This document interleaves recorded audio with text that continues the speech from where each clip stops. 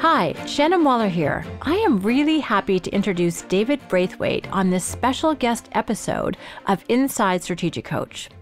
Now, David is a 10 year veteran of Strategic Coach. He's a 25 year entrepreneur, and he's our newest associate strategic coach coach. In this episode, David's going to do a deep dive into the entrepreneurial time system, which will really help you maximize your productivity, make the absolute best use of your time, and, most importantly, dramatically increase the quality of your free time. Stay tuned to learn more. So one of the first tools I ever learned was about the entrepreneurial time system. And it came at a really good time for me because at the time I was just expecting our first child. And I had a business that I've been running for years.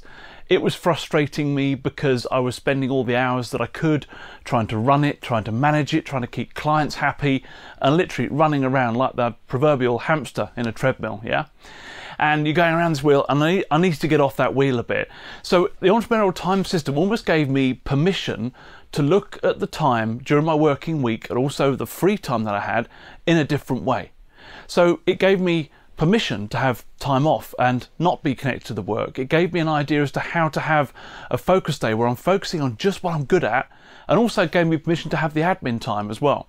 And one of the biggest things that came from this was first of all, when my son was born, I could spend time with him and I wasn't running around. Ever since he's been born, I've had that time to spend with him and do whatever I wanted to do.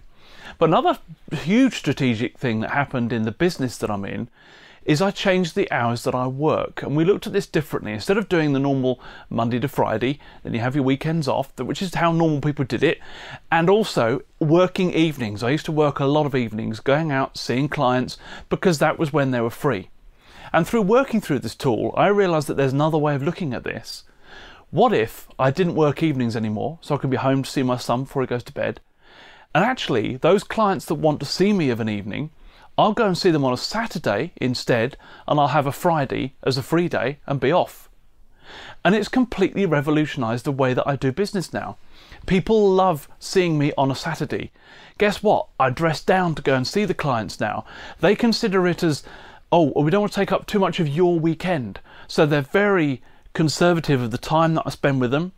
And also the clients that I see on those Saturdays, all of them agree to do something with me because they are serious about it. And what's the great thing is I never thought about this before.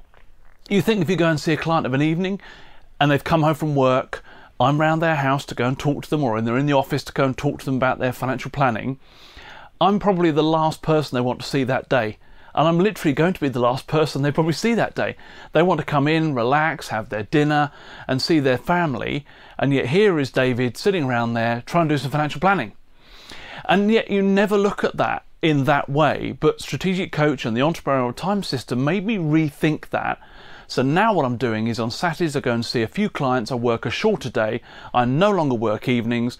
If you add up the number of hours in a week that I work just from that one seismic shift, it's hours a week that I've saved and I've become more productive. So, from that point of view, it's a win. But unless I had that coaching to look at that and think, but also challenge the normal, what we would consider our status quo, because after all, we've done it for years, it's worked for years, let's unravel that and unpick that and think, what could we do differently if we were given the freedom of choosing to do that differently?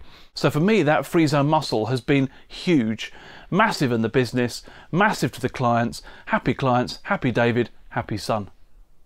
But I go and see them at their house, they're relaxed, they're in their shorts, they're dressed down, and they're like, oh, David's coming round, it's okay, it's a Saturday. And they are way more relaxed. Instead of just thinking, I've just gone to eat dinner, I've just got to do this, I've just home from work, and and I was the last person they probably wanted to see. As nice as I am, to be fair, I'm not the person you want to see of an evening. I come around and see on a Saturday. It's happy, it's uplifting, it's a positive experience, it's a shorter experience, and it's way more focused because you've got limited time with them on a Saturday. So it's changed the way that we do everything. It's the focus that you have when you're with those clients on that day. But also, I have focus days during the week as well. And when you're literally going from one appointment to the next to the next client, you're absolutely on fire. You're in the zone. I've got no distractions from the office because they're not in. So I can't see anybody, I can't talk to anybody from the office. It is complete detachment. It is 100% pure focus. I go in, see the clients, get the job done, and I'm out. That's it. That's my day done. I don't do any buffer activities. I don't have any free time in that day. I literally go from one client to the next. So you do get your game face on, for want of a better word. You're in the zone. You're there. You're going from one appointment to the next, to the next, to the next, and it feels great. It doesn't feel like work. I'm working in my unique ability completely on that day, but also during the week when I'm on a focus day as well. I had one recently. I think I had seven appointments back to back. People in the office went, Oh, my, you've got seven appointments back. That's a hard day. I'm like, No. This is my perfect day. This is what I want. I don't get distractions. No one's bringing me down. I'm there just doing what I'm best at and what I'm great at, and the clients love me for it. And guess what? You're more productive because you're in the zone with clients. They expect to see you on those times. You go through from next to next to next, and you only expect positive outcomes with those people that you meet. Because otherwise, you get the buffer activities that come in, they pollute you. They pollute your day. They mess it up a bit. They taint it. They tinge it differently. Whereas if you're there purely on focus activities, you could be great. So, three distinct days with the entrepreneurial time system a free day, a focus day, and a buffer day. So, a focus day is doing 80% of what makes you money. If you took all your activities away and you just had three things to do, what would they be? Just do them. And it's eyes open to eyes shut. So, it's 24 hours a day just doing that.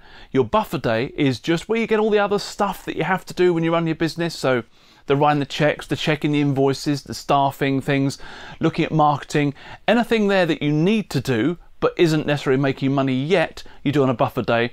And a free day is the best of all because you're free. And again, you have a whole 24 hours, no phones, no emails, no office, no distractions whatsoever. So you can be with the people that you're with or yourself. And it's nothing wrong with having a selfish free day as well. Some of the best days I've actually had have been the selfish ones, where I've just gone off with my friends and done something crazy for a day. But it's having that permission, for want of a better word, to go off and do that. Because until then, I always felt guilty and I wasn't working, or there's always something to do. And these so called smartphones, they actually make you dumb because they follow you around wherever you go and people can always get you. But guess what? Doesn't mean to say you're going to be more productive because you certainly won't be. You just become everything to everybody and not being who you want to be for yourself. And the reason why you set up a business in the first place was to have that freedom and it takes it away from you. The true value of implementing it in your life really is having that courage and the confidence to do something different.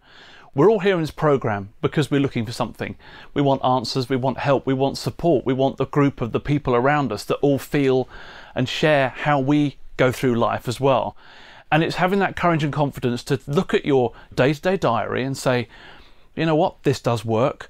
I've got to make some changes. And making those changes is a hard thing to do because you're trying to change habits. But once you change those habits and you start beginning to see progress, then guess what? Progress is a positive thing, but change is hard. But it doesn't mean to say it's a bad thing. It's just changing your mindset, looking at everything slightly differently, and you will see positive results from it straight away. You will see positive results. Least of all on the free days, when suddenly the people that you're with, who always looked at you looking at your phone and checking things and always just doing that email, suddenly you're there with them. How annoying is it when you go to a restaurant and people keep picking up their phones? It's like that, but you were like that all the time. Yeah? And suddenly you're not. You're present with the people that you're with. They'll appreciate it. Your relationships get better, not just with your clients, but also with your friends and family and loved ones. It's only a good thing, but it's having that courage and confidence to make the change. You're on the program for a reason action the tools, otherwise, you're just paying money to sit in a chair. You need to go away and actually do something, and often that's the hardest thing coming away from here is implementation. But that's the key thing, and having that brave step to, go over that line and just do something different as a result of being here, and you'll be a different person and a happier one. It's not going to be easy, okay? It isn't going to be easy because it's asking you to change a lot of habits that you've, I'm not saying they're bad habits, but it's asking you to change habits that you formed for yourself. But not checking your emails and not answering the phone and not being there all the time actually, I think, makes you more valuable because you're not at everyone's beck and call straight away. But also, I remember there was uh, sports day. I was at my son's sports day, and they're all running a race, and all the boys are going along there. And now my son didn't win, but another chap's son did win. The dad missed it because he's too busy looking down at his phone. Now, his son, the first thing he's going to do is look round at his dad and say, Did you see that? And the honest answer from the dad was, Well, no, I didn't. And that I think is tough because you're never going to recreate these moments with the people that you want to spend time with. You're in the program for a reason. Use it, be brave, step across that threshold and do things that are uncomfortable, do things that are difficult. And it's only in your head that you think is difficult, but actually, when you get the hang of it, it's easier than you think. But it's progress, not perfection, yeah? So try it. Just take one free day where you leave the phone at home. Especially if you've got kids, they're the greatest police of that ever because you can say to them, I'm going to leave that phone in the drawer and you can pay a fine, buy them ice cream, whatever it is, if you touch your phone, yeah? But they will get behind it. And guess what? You'll see in their faces how much they want. It isn't about the cards, the gifts, the presents, whatever. What they want is time. And that's all anybody wants. And it's the one commodity that we cannot buy, but we can give. We can be with people and be present when we're with those people. And the least that we can do is not have work distracting. At the end of the day, what's more important? The people that you're with at that moment, or maybe a client or a customer that demands that it's there for you. And I have a saying as well that the smartphone, the emails, the phone calls, it's there for the emailers or the caller's convenience, not for yours. Okay? So take that mind shift ahead as well. And then if you want to ring somebody up, that's great. But they're ringing you because it's convenient to them. Doesn't mean to say that you have to react to it. And that's a choice that we make. It's a binary decision. You can choose whether to react to it or not. Just try it, just once. Don't react to it. Be brave, and it'll be fine, trust me.